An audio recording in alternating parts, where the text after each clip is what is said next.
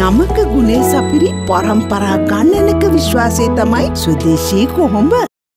අවංක භාවය හා විනය නොමැති රටකට ආර්ථික ජයග්‍රහණයක් අත්පත් කරගත නොහැකි බවයි. අප රට නිදහසින් පසු ක්‍රමක්‍රමයෙන් උරුම කරගත් ආර්ථික අහේනියද ලැජ්ජා සාගත ලෙස අප රට තුළ වර්ධනය වූ දූෂණයේ සංස්කෘතියද නීතියේ ස්වාධීනත්වය ක්‍රමක්‍රමයෙන් හීන කර එය දේශපාලන බලධාරීන්ගේ අතකොළුවක් කර ගැනීමට ගත් උත්සාහයද ජාතීන් හා ආගමිකයන් එකිනෙකාට එරෙහි කරවමින් විටින් විට ඔවුන් අතර කලහයන් ඇති කරමින් ගෙන ගිය දේශපාලන බලපොරයද අද මේ රට බලගතු ලෙස ආරාජික තත්ත්වයට ඇද දමා ඇත.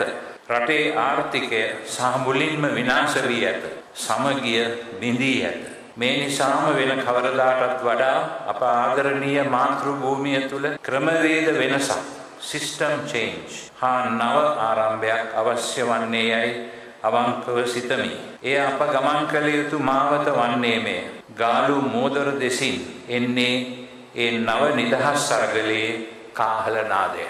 සිග්නිස් සම්මානුලෙල අගරදගුරු අතිවුතුම් මැල්කම් කාදිනල් රංජිත් හිමිපාණන්ගේ ප්‍රධානත්වයෙන් ඊයේ පැවැත්වුණේ බණ්ඩාරනායක අනුස්මරණ ජාත්‍යන්තර සම්මන්ත්‍රණ ශාලාවේදී.